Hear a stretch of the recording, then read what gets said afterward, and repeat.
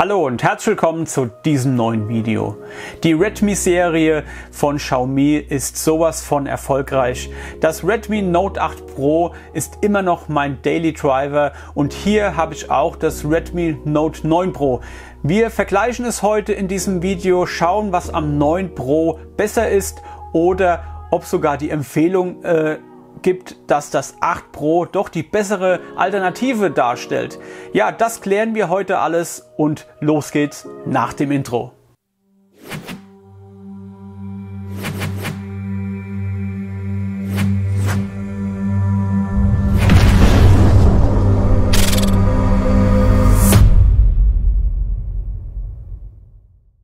Hier könnt ihr schon mal erkennen, dass sich an der Verpackung selbst nicht viel geändert hat. Ihr habt hier das Redmi 8 Pro, kennt ihr ja, und hier Redmi Note 9 Pro. Also ich sage nur noch 8 Pro, 9 Pro, um das alles ein bisschen abzukürzen. Wie gesagt, es hat sich nicht viel verändert. Wir haben hier jeweils liegen die 6 GB RAM-Version und 64 GB interner Speicher. Die Verpackungen legen wir jetzt mal auf die Seite, dass wir Platz haben für die zwei Geräte. Und wir schauen uns auch direkt mal im Vergleich so an. Hier das 8 Pro, hier das 9 Pro.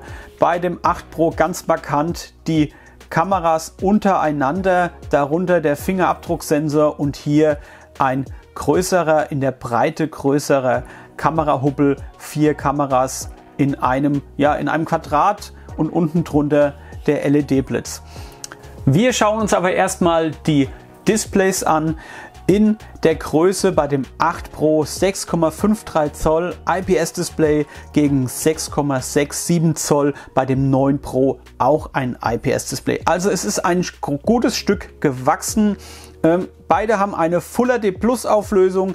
Das Redmi 8 Note 8 Pro hat ähm, eine 19,5 zu 9 Format und das 9 Pro hat 20 zu 9 Format. Da gibt es einen kleinen Unterschied. Das Gerät ist halt etwas länger gezogen und deswegen etwas schmaler gehalten.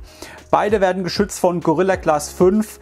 Das 8 Pro hat 395 ppi und das 9 Pro 439 ppi. Ihr seht ganz markant hier oben den Unterschied von der Frontkamera. Wir haben hier einmal eine Notch und hier eine Punch-Hole, wo eine Frontkamera versteckt ist und da ähm, muss, muss man sagen, hat das 8 Pro sogar zumindest in den Megapixel die Nase vorn. Da haben wir 20 Megapixel und bei dem 9 Pro haben wir 16 Megapixel Frontkamera. Ich blende euch auch ein paar Beispielfotos ein, die ich im Laufe der Zeit des Tests gemacht habe und dann könnt ihr auch ein wenig vergleichen. Ja, von der Power her ist, also von der Hardware Power her ist bei dem 8 Pro der MediaTek Helio G90T verbaut. Es ist ein Octa-Core mit maximal 2,05 GHz und bei dem 9 Pro haben wir einen Qualcomm Snapdragon. Da hat Redmi den Hersteller ähm, des Chipsatz getauscht. Es ist auch ein Octa-Core der 720G mit maximal 2,3 GHz. Unterstützt wird das 9 Pro von der Adreno 618 Grafikeinheit und bei dem 8 Pro haben wir eine Mali G76. Beide Geräte haben 6 GB und beide Geräte hier vor mir liegen haben 64 GB interner Speicher. Es gibt aber auch von beiden Versionen eine 128 GB internen Speicher. Ja, die SIM-Karten-Slots sind auch unterschiedlich. Wir haben hier einen Hybrid-SIM-Karten-Slot bei dem 8 Pro. Also könnt ihr hier entweder eine SIM-Karte und eine Micro-SD-Karte verbauen. Bei dem 9 Pro gibt es eine Verbesserung in der Hinsicht. Da können wir zwei SIM-Karten plus eine MicroSD-Karte verbauen. Bei der Größe, wie gesagt, seht ihr schon leichte Unterschiede. In der Höhe hat das 8 Pro 161,4, wo das 9 Pro mit 165,7 aufweist.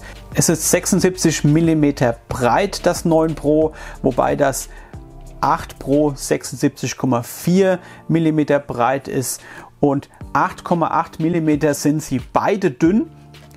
Also ihr habt da keinen Unterschied und ich finde sogar, das 9 Pro hat ein wenig mehr den Kamerahubbel rausstehen. Ich weiß gar nicht, ob ihr es erkennen könnt. Also da jetzt so ein bisschen, da schaut mir doch das, der Kamerahubbel fast ein Millimeter oder ein Millimeter raus und bei dem 8 Pro haben wir hier noch ein bisschen weniger. Ähm, ich denke mal so 0,7 Millimeter. Ja, und wenn wir gerade bei der Power sind, da gibt es nach meiner Meinung doch eine kleine Überraschung. Wir haben nämlich bei dem 8 Pro im Antutu Benchmark 283.161 Punkte und das 9 Pro hat in Anführungszeichen nur 278.122 Punkte. Also das 9 Pro hat sogar ein bisschen weniger Punktzahl und ich muss sagen, der MediaTek Helio G90T, auch wenn er viel Kritik einstecken musste, finde ich persönlich auch einen super Chipsatz. Da kann man gar nichts dagegen sagen. Es ist wirklich äh, so, der hat eine Menge Power, natürlich ein bisschen mehr Energieverbrauch, aber dazu kommen wir gleich. Aber was bringen uns Zahlen, wenn wir hier auch den Live-Test machen können? Wir starten ein paar Apps und schauen mal, wie schnell sie starten, wie schnell sie scrollen. Dabei schauen wir doch mal, ob irgendwas noch im Hintergrund läuft. Ihr seht nichts im Hintergrund. Und dann fangen wir doch an mit Instagram. Und da war ganz deutlich das 9 Pro schneller. Dann schauen wir Twitter. Da seht ihr, sie drehen beide im Display um. Da war auch das 9 Pro schneller und dann bleibt noch YouTube. Und hier habt ihr gesehen, war das 8 Pro hatte da die Nase vorne. Ja, also ich muss sagen, ihr, wenn ihr die Geräte nicht nebeneinander liegen habt, sind die Geräte gleich schnell. Also da kann man gar nicht anders sagen. Da jetzt zu sagen, die paar Millisekunden da oder die paar Millisekunden da. Also da haben die beiden doch keinen Unterschied vorzuweisen. Jetzt gehen wir doch mal auf die Rückseite und wenn wir dann beim Rumdrehen sind und wir haben ja die zwei Geräte mal in der Hand, das 8 Pro wiegt 200 Gramm und das 9 Pro wiegt 209 Gramm. Also da habt ihr auch wenig Unterschiede. Ich merke es eigentlich so gar nicht. Schauen wir mal, ob bei der Kamera doch mehr Unterschiede gibt. Da bin ich doch wirklich selbst mal so ein bisschen gespannt gewesen. Aber ich muss euch leider enttäuschen. Auch hier gibt es nicht viele Unterschiede. Ihr habt als Hauptsensor immer noch den 64 Megapixel Samsung GW1 Sensor. Also im 8 Pro wie auch im 9 Pro. Da hat sich nichts getan. Ähm, des Weiteren ein 8 Megapixel Weitwinkelsensor, auch bei beiden Geräten, ein 2 Megapixel Tiefensensor, auch bei beiden Geräten. Und hier gibt es jetzt einen kleinen Unterschied. Im 9 Pro gibt es eine 5 Megapixel Makrosensor und im 8 Pro hatten wir oder haben wir ein 2 Megapixel Makrosensor. Also beim Makrosensor eine, ein, ein Unterschied zu machen, äh, ja, er war nicht super, der 2-Megapixel-Sensor, das kann man schon so sagen. Aber ich bin sowieso nicht so der Makrofotograf. Und ob jetzt 2 oder 5 beim Makrosensor der Unterschied ist, naja, also dann hätten sie lieber die Weitwinkel Kamera verbessern können statt 8, 16 Megapixel zum Beispiel. Also da gibt es wirklich kaum Unterschiede, wie sonst sage ich mal, bisher in den, bei den Geräten auch, aber die feinen und kleinen Unterschiede kommen noch da, das kann ich schon mal vorab sagen. Ja, des Weiteren ähm, haben wir Bluetooth 5.0 bei beiden. Wir haben beide NFC. Wir haben bei beiden WLAN AC. Und jetzt kommt der, schon mal ein kleiner Unterschied. Zumindest bei meinem Gerät, bei dem Note 8 Pro, ist noch kein offizielles Update auf Android 10 verfügbar. MIUI 11 ja, aber mit Android 9 als Basis. Das 9 Pro hat dann schon Android 10 und auch natürlich MIUI 11. Garantiert auf MIUI 12 bei dem 9 Pro auf jeden Fall. Ich vermute mal bei dem 8 Pro dann auch, aber erst später. Und jetzt kommt der größte Unterschied. Der verbaute Akku ist beim 8 Pro 4500 mAh stark und bei dem 9 Pro 5020 mAh. Ja, und da muss ich sagen, da ist dann wieder die Kritik an dem MediaTek-Prozessor ähm, leicht gerechtfertigt, sage ich mal. Er hat einen höheren Energieverbrauch.